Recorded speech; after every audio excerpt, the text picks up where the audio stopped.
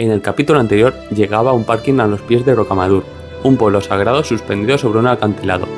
Las casas, los tejados y la iglesia parecen formar parte de la roca. Alucinante. Recorrerlo en la oscuridad y soledad me dejó sin palabras. Tras él, me dirigí a Saint-Cirque-la Poppy, pero antes me preparé un delicioso pad thai. Ya con el buche lleno, recorrí sus calles repletas de flores, visité su iglesia gótica amurallada y sus calles de piedras colgadas sobre un acantilado.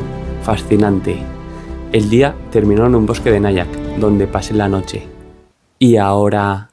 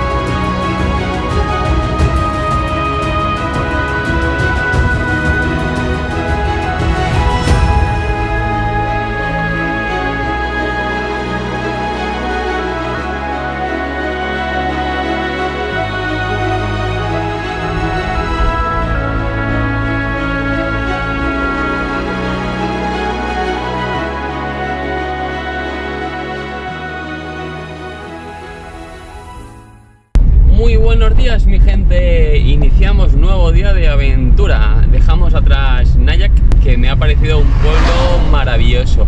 Llevo visitados cuatro pueblos y, y cada uno es distinto del otro. Eh, me están pareciendo increíble. Eh, ¿Por qué? Por masificación, o sea, no, por, por ausencia de masificación, o sea, no hay gente. Eh, ayer en, en Nayak eh, lo estuve viendo por, por la tarde al atardecer y luego por la noche volví a ir. Eh, no me podía ir sin ver eh, sus calles eh, iluminadas, el castillo, vamos, andar solo por allí, que era un poco tenebroso, pero misterioso, pero maravilloso. Así que mi gente, dejamos Nayak y, no, y me voy a Corde Surcel. Total, esta mañana me he levantado, he desayunado, no me apetecía grabar, porque muchas veces estoy hasta el gorro de sacar cámara y grabar, me apetece disfrutar del momento, sin cámaras, sin preparar y sin nada, así que me he preparado un desayuno bueno, ricos de los míos. Y lo dicho, me voy a Corde Surcel por estas carreteras de un solo carril prácticamente estrechas, eh, bordeando siembras, eh, pastos, eh, montañitas, vegetación, eh, los paisajes eh, maravillosos. Así que mi gente, let's go. Pueblo. Vamos allá.